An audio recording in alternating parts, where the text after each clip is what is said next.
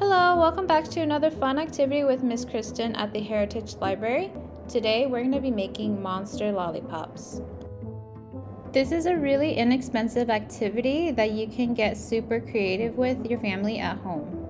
Once we're done with the project, at the end of the video, you'll learn a bit about the science of melting candy.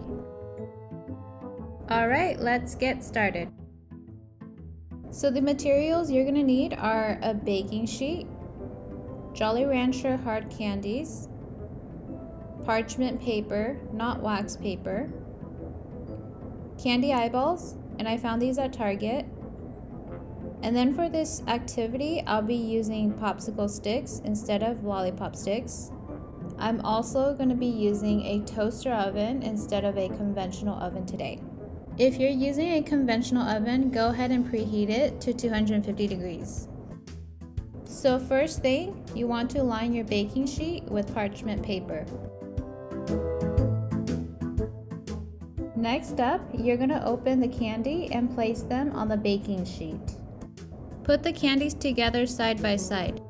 Make sure that you're leaving enough space to put in your popsicle stick.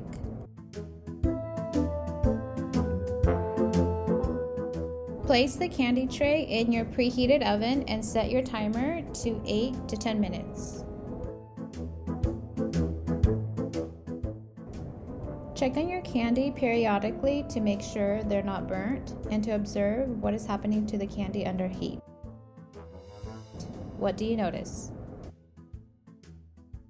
Once you're ready to take out the candy, make sure you put on oven gloves or use a towel to pull out the hot tray. For this next part, you're gonna have to move fast, so make sure you have your candy eyeballs and popsicle sticks ready. Push in your popsicle stick and swirl it around a few times to make sure it's covered in the melted candy. Here comes the fun part, putting in your eyeballs.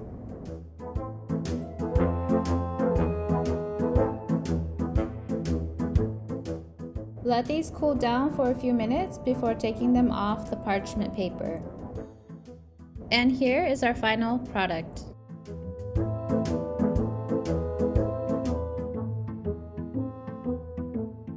So my question to you today is, why do you think the candy flattened out and expanded when you put it in the oven? When most matter is exposed to heat, the molecular structure is forced to expand. When it cools, the molecular structure constricts. For clear hard candy, it has a glass structure, meaning that just like glass, it has a non-crystalline molecular structure.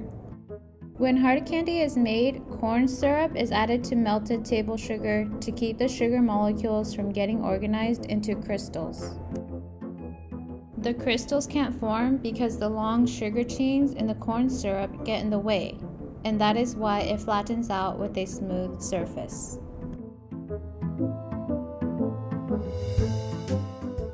For further information, check out some books we have in our libraries. Thank you for doing this activity with us. Hope to see you in our next program.